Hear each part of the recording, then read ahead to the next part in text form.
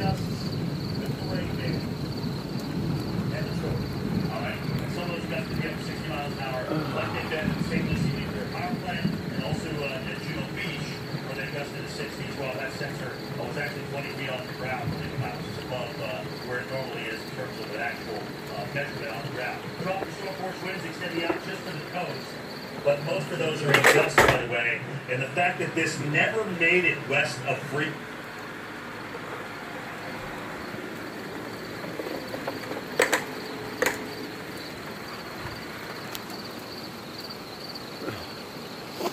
That light patch is real weird.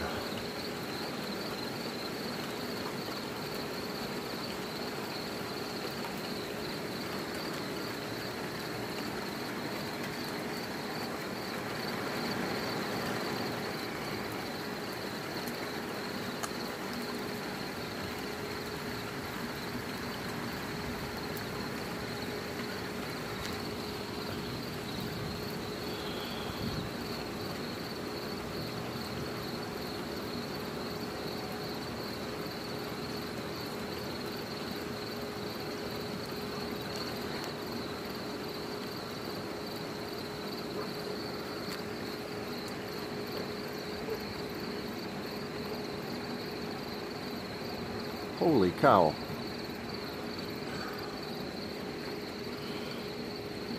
Can anybody say boom?